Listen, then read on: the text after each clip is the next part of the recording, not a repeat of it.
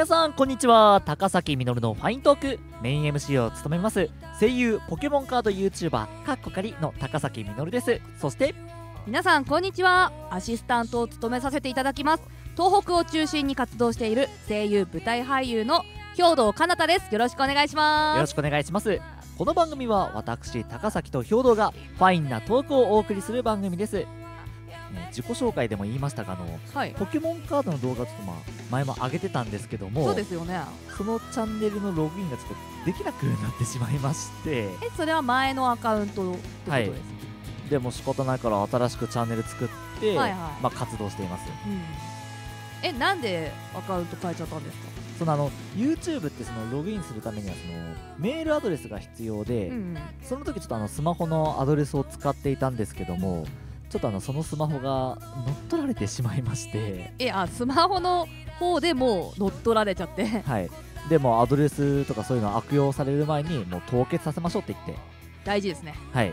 でちょうどその時期にあのパソコンも同時に壊れちゃって。お不幸は続きますね。もう仕方ないからパソコン買い直してじゃあ新しいパソコンで編集ソフトも入れてよしじゃあ新しく YouTube 活動始めるぞと思って。あれそういえば僕のチャンネルはえーとあれログインできないんだけどって。あ仕方ないなっつってそのメールアドレスにその申請出して SMS コードが届きますよっていうのがあるんですよ。6桁のあの番号があってはいはいログインするのにそのアドレスの方にこうパスが届いて。はい。だから僕の手元にはその SMS コードが届かなくておっと？あ入れないね。うんうん。罪で負けでいいですって言ってもう今は新しいチャンネルで活動していますそうかもう自分でアカウント凍結させて、ね、個人情報を守ったのに、はい、まさかの自分が自分家に入れなくなっちゃったみたいなミイラ取りがミイラになっちゃったん。ですよなん。てこったえひどいなそれえちなみに前のアカウントってなん。か結構登録者いたってですね7270人いましたねおそれが今のアカウントは1147人ですおえ7分の1くらいそのぐらいですねえ結構減っちゃいましたけど。えあカッコ借りてなんかそれ関係あるんですか？ですね。今あのまだ YouTuber っていうかその収益の申請をしていないのでただの動画投稿者なんですよ。なるほど。そのカッコ借り。はい。えちょっとなんか YouTube ってあんまり分かんないんですけどその収益っていうのはなんかどうしたらできるんですか？えっと、あの登録者が1000人以上でなおかつあの総再生時間が4000時間を超えないと申請ができないですね。えってことは結構前のアカウントってすごかったんじゃないですか？ですね。もうすでにもう2000人とか超えていましたし、はい、再生時間は6000時間超えてましたね。おっと。えじゃあ今は？今は1100まあ当然1000人超えてて、うん、再生時間も4000時間超えてますねあじゃあなんかとその申請はできる状態。ですね。じゃあ第一歩踏み出した。そうですね。戻っちゃったもんね。あとはちゃんと申請が通るかどうかですね。えじゃああの今聞いてる方ぜひねあの興味ある方。え高崎実で検索すれば出ますか？ですね。あのあと新しい順にしてもらえればあの出るので。あじゃあ前のアカウントもなんかあるみたいなんであの検索出ちゃうんですもんね。はい。でちょっとそこ間違えないようにしていただいてでねあのチャンネル登録をぜひしてあげてください。よろしくお願いします。それでは高崎実のファイントークスタートです。この曲懐かしいな。高校の時の学園祭でギター弾いたんだよな。へえバンドなんかやってたんだ。初耳。まあね。今度同期の結婚式で何か歌ってって言われてるんだ。その時ギター弾いてよ無理無理。バンドやってたのはもう10年以上も前の話だから。ギターも今じゃ家のオブジェになってるし。練習しても間に合わないよ。いや今からでも遅くないよ。え？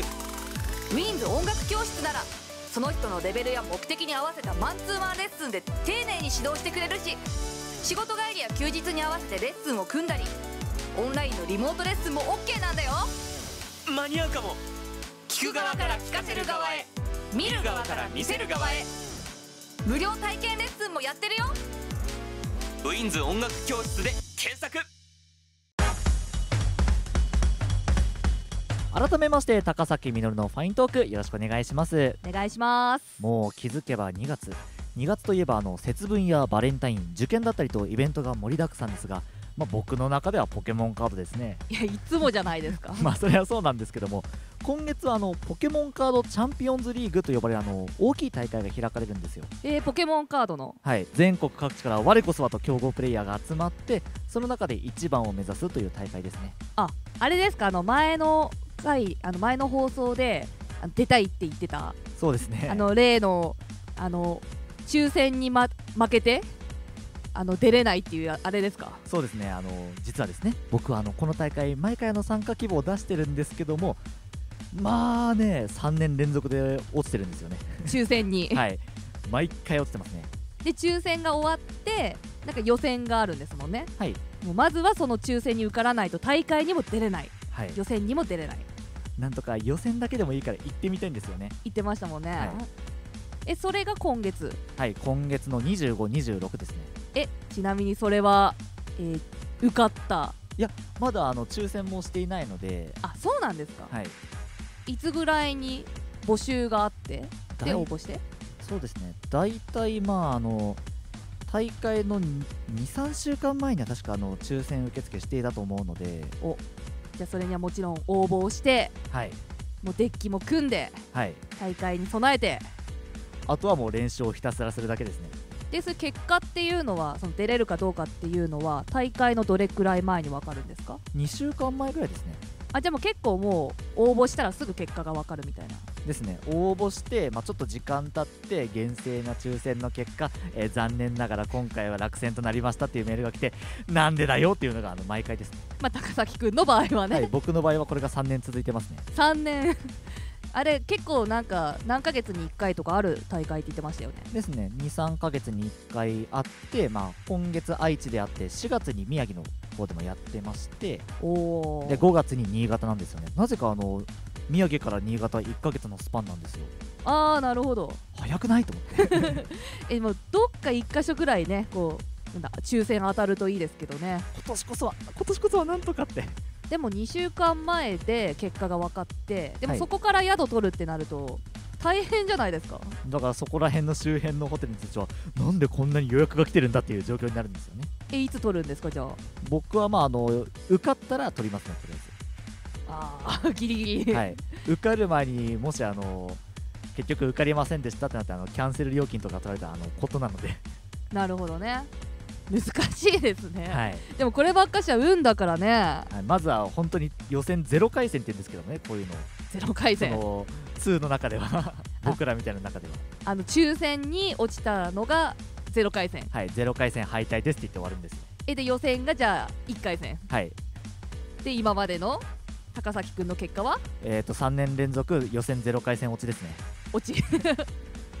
初めて聞きますけど結構なんかワードとして強いですねもうねいい加減3年連続っていうのね抜け出したい。あ今年の目標でしたよね。なん今か年の目標。出たいって。本当に出たい。えー、じゃあもう新年一発目が今月。はい。えー、いいですね。いけるといいですけど。そうなんですよ。この前ねあのなんだろう初心者パックみたいなのであの私とポケモンカード。ああやりましたね。なんか勝負してくれたんですけどもう初心者なんで私は全く分かんないんですけどなんかすごいキラキラした強そうなカードてか実際強いカードをすごく持っていてはい。あすごい強いんだなって素人目に思ったんですけどそんな彼でも抽選に受からないと大会にもまず出れない。そうなんですよ。ちゃんとデッキ組んだんだけどね。だからこそ今年こそはなんか受かったらいいなと思っています。ま愛知は受からなくても行くんですけどね。行くんかいそれではここで1曲目の紹介に入りたいと思います。今回最初にお送りする曲は、えー松本里香さんで「目指せポケモンマスター」という曲でこれあの兵藤さんのリクエストで。はいそうなんです。私が選んだんですけどもあのポケモンはポケモンでも最近といっても何ヶ月か前になっちゃうんですかね。あのニュースでポケモンのアニメのサトシその松本里香さんのやってるサトシが卒業っていうニュースがあったと思うんですよ。もう知ってる人は知ってると思うんですけど。衝撃的だったあれは。ね。で私の夢の一つにサトシとアニメでポケモンバトルをするっていうのがあったんですよ。はい。でも卒業じゃないですか。叶わないじゃんっていうちょっとショックがありでもサトシ今までずっと頑張ってきたね。卒業おめでとうっていう気持ちもありちょっともうやっぱこの曲かなと思って選びました。はいありがとうございます、えーそれでは松本里香さんで「目指せポケモンマスター」お送りした曲は松本里香で「目指せポケモンマスター」でした。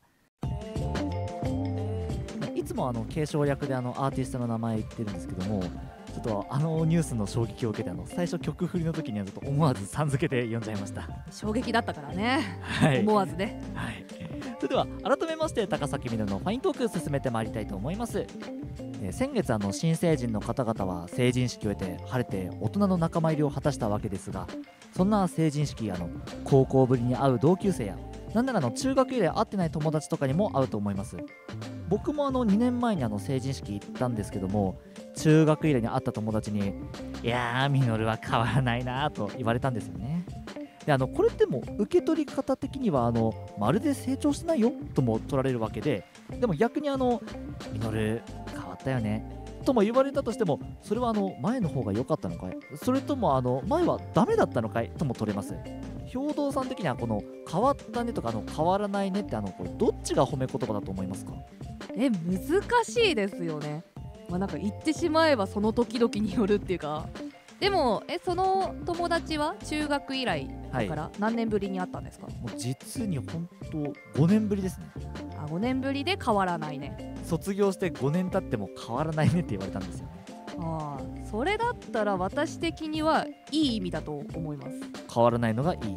うん。なんかやっぱりその中学校とかの時のあの時の記憶っていうかあの思い出みたいなそういう思い出のまんまで今も会えたねっていうのはすごい私的には嬉しいっていう気持ちの方があるかなと思うので、まあ、あの時のままいてくれてありがとうって気がします私は。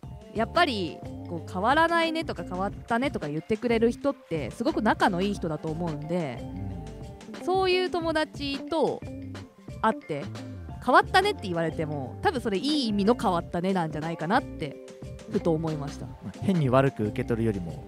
いやなんか中学の時の友達が悪い方に変わっちゃったっていう時に変わったねって言わないかなと思って 思ってもね。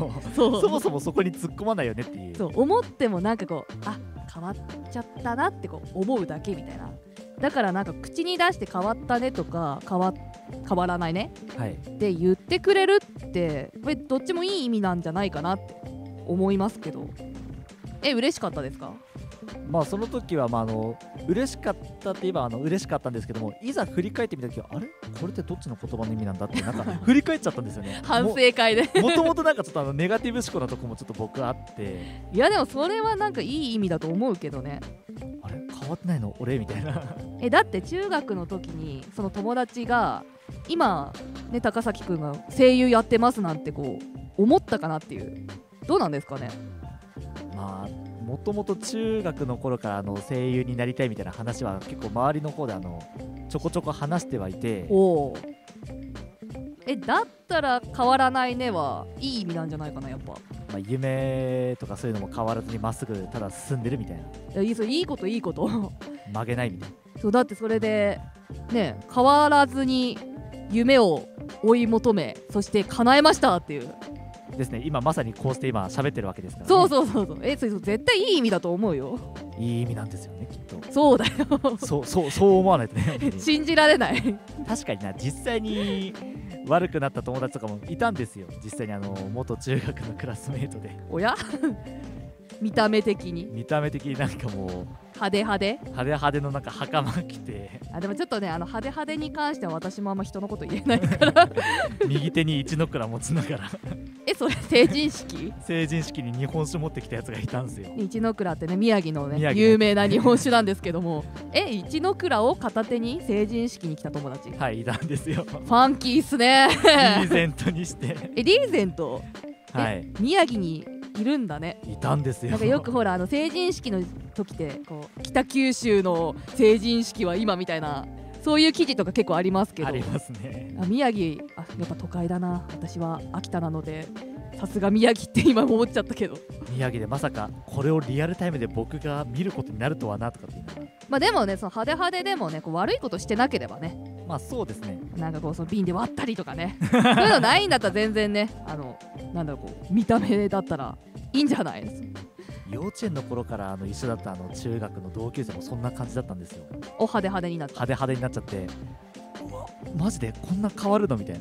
あでもねあの派手派手に関してはそのさっきも私あの人のこと言えないって言ったけど、派手派手は悪いことじゃないよ。あの悪いことしなければ。悪いことしなければ。派手派手で悪いことする人はもちろんダメだけど派手派手になることは悪いことじゃないって私は言いたい。ですね。結局はあれですね。あの大事なのは、まあ、変わっていくこと変わらずにいることって、えー自分の道は曲げない。それが俺の忍道だってばよといい意味で変わらない高崎実、えーこれからも頑張りたいと思います。それではここで2曲目に入りたいと思います。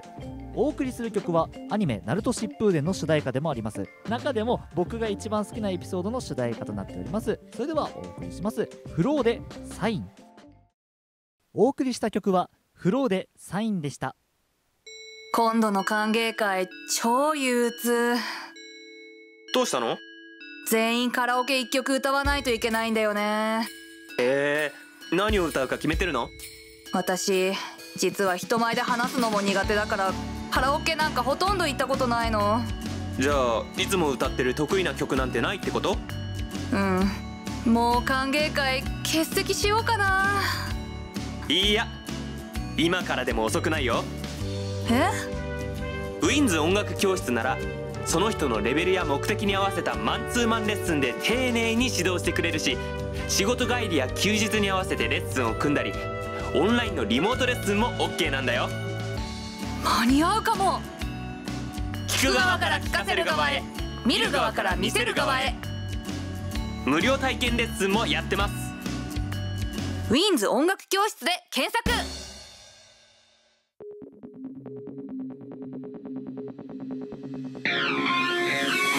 高崎実のファイントーク終了の時間がやってきましたここでお知らせです。高崎実のファイントーク Twitter アカウントでは収録中の風景や未公開シーンリアルタイムで見れなかった人向けにアーカイブ公開。次回放送時のスケジュールなど高崎実のファイントークに関する情報を発信しています。それこそ僕があの最初の方に話したチャンピオンズリーグについての結果報告だったりもこのアカウントでしたいと思います。またラジオ内での企画僕が考えた最強の〇〇その高崎実のファイントークでこういったこともやってみてほしいみたいな要望も Twitter のダイレクトメッセージにぜひぜひ送ってみてください。ラジオじゃ難しい要望だったらそれこそあの Twitter やこのラジオのアーカイブを発信している WINS エンターテインメントのチャンネルで動画にして様子を発信するみたいなこともできますからね。皆さんぜひぜひ高崎実のファイントーク Twitter アカウントおよび WINS エンターテインメントと高崎実 YouTube チャンネル登録をお願いします。僕今のアカウントが2つあってあの7270人のあの前のチャンネルと今運営しているアカウントが今1143人のあのアカウントがあるんですけどもあの1100人ぐらいのやつがあの今のアカウントですので、えー皆さんぜひぜひあのローマ字の方がついてますのであのそちらの方でチャンネル登録をお願いします。もうめちゃくちゃ必死だな、えー次回放送日は3月5日になります。MC は私高崎実と兵藤かなたでした。次回の放送をお楽しみに。バイババイイバイ。この番組は聞く側から聞かせる側へ見る側から見せる側へウィンズ音楽教室の提供でお送りしました。